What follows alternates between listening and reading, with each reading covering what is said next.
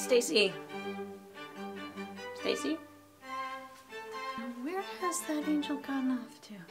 Hey, God. Oh, Steve, hey, have you seen Stacy? Nope, I was too busy making the salamander. Whoa, that's... Wow, that's huge. It's the Wawayi baby fish? It's the largest amphibian, weighing nearly 130 pounds and nearly six feet long! I can see that. It's giant, so why are you calling it a baby fish? Oh, that's because of the sound it makes when it's threatened. It sounds kind of like a human baby. Creepy. They come in a bunch of colors too, typically to match the riverbeds that they're in, but the albino ones like this one, they're super cool.